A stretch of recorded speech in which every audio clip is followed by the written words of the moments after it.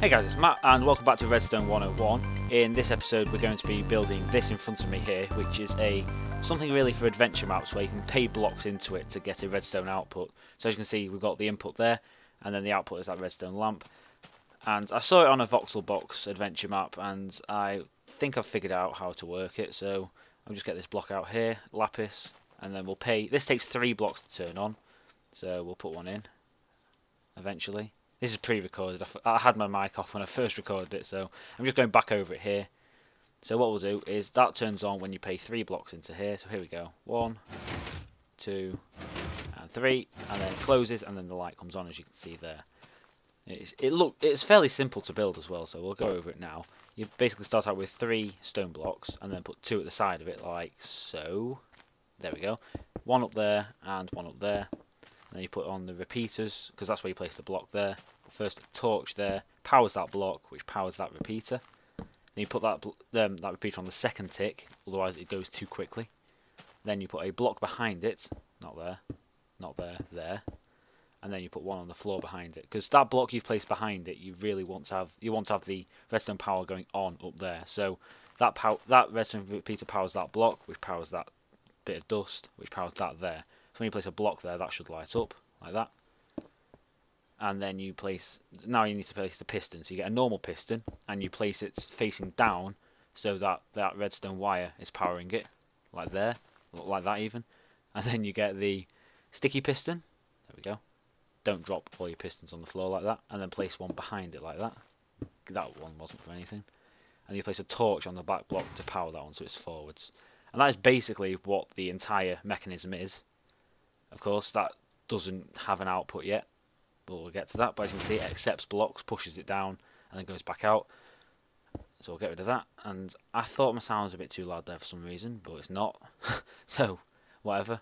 Doesn't really matter. So now what we need to do is we need to build the way the redstone turns on when it's accepted blocks. So as you can see, that's the first stage there. We want to have three. So we'll put we'll dig two down so we have room for three blocks. It, you can have as many as you like. Well, 12's the maximum, but I'll go with three. So what I'm doing here is I'm placing redstone at the bottom so that when the third block comes down, of course, redstone will get pushed into it like that. And then, of course, redstone wire will get power from it as well. That doesn't get affected by that torch there because it's not high enough. So, of course, when the blocks go down, that'll turn it on. So when we place in three, that will turn on the wire. Oh, yep, here we go. This is me covering up the front of it because of course. I don't know, I'm watching this video back and it seems so stupid without the sound. It probably seems the same, but you know what I mean. Maybe. I don't know, it, but I can't remember what I'm saying. So, oh, what I'm doing here is when you want when you want it when you, it turns on, sorry, you want it to close that gap. So I'm placing a piston down here. You need to have room for two bits of stone so that it'll push two up, and then you place a piston below it. But push punch out the block just behind it first, like that, and then place the piston there. Because now you'll see in, at the very back, that hole is there. If you place some redstone there, it very conveniently fits there, so I was quite pleased with that. So you heard the piston there, that does close it at the front, but I forgot to put the blocks in, so we'll put some stone in there now.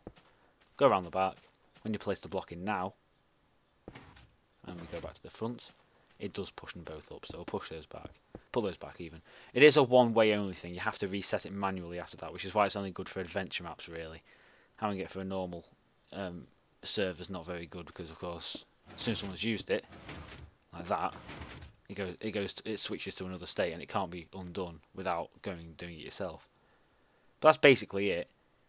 And that's that's all there is to it really. It's, it's, it's it is really simple when you look at the back, back of it but it has an it has a very nice effect especially for adventure maps as you saw I saw it I used it in the Runecraft episode 2 I put that in for help because they wanted to have something good in there.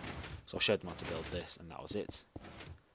And that's basically it. So I'll see you in the next video guys.